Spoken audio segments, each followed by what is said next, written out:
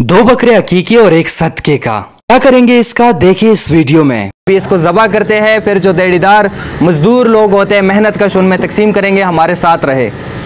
गोश्त साफ़ सुथरा कर दिया माशाल्लाह से अब डब्बों में पैकिंग जारी है। गोश्त के साथ साथ सब्ज़ी की पैकिंग भी शुरू कर दी।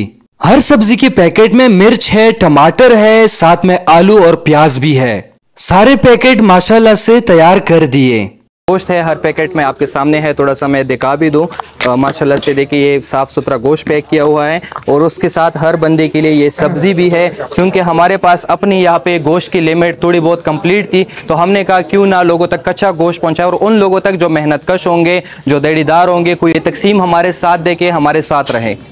इस महँगाई में गोश्त का तस्वर करना भी मुश्किल है मुस्तकीन के लिए। फिर छोटा गोश्त तो एक नेमत है। हमारी कोशिश है कि देड़ीदार जो मजदूर कार है, रेडी वाले इस तरह लोगों में हम तकसीम करें।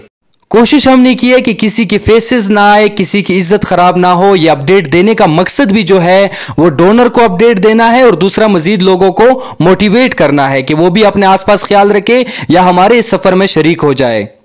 माशाल्लाह से तकसीम जारी है। आप देख रहे हैं कि हर बंदे को अपना अमानत पैकेज मिल रहा है। हमेशा हमारी कोशिश होती है कि जो भी हमारे पास अमानतें होती है, वो सही से सही हकदार तक पहुँचे।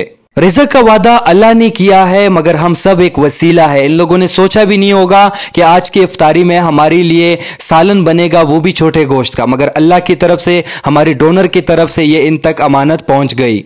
इन तीन बकरों में एक बकरा सदके का था, दो अकीकी के थे। तो जिनकी तरफ़ से था, उसे दुआओं में आप सबसे दरख्वास्त है कि लाजमी याद रखे। तकसीम आपके सामने है, साइकिल वाले, रेडी वाले सिक्योरिटी गार्ड्स में जारी है देड़ीदार मजदूर लोगों में। इनकी हालत देख के आप अंदाज़ा लगा सकते हैं कि ये कितने मुस्तक है। सोशल मीडिया पे दिखाने का जो मकसद है, हम चाहते हैं कि हमारे जो नौजवान हैं, वो फलाई काम में मसरूफ हो जाए। तो इसमें हमें आप लोग की मदद दरकार है, हमारे पैगाम वीडियोस शेयर किया करें, जितना हो सके हमारा प्रोफ़ाइल भी। अगर अभी तक आपने फॉलो नहीं किया तो मजीद फलाई काम देखने के लिए लाजमी फॉलो करें। हम हर रोज कोशिश करते हैं कि हमारे एफर्ट्स की वजह से, सोशल मीडिया यूज़ की वजह से, भागदौड़ की वजह से मुस्तकीन तक कुछ ना कुछ पहुँचे। ये गोश्त शायद आपके लिए, मेरे लिए बड़ी बात नहीं है ये सब्ज़ी, मगर जिनके घर कुछ नहीं होता, उनके लिए ये बहुत बड़ी नेमत है। रमज़ान का बाबरकत महीने में ऐसा छोटा गोश्त किसी तक पहुंचाना बहुत बड़ी बात है। तो हम शुक्रिया अदा करते हैं अपने तमाम डोनर्स का।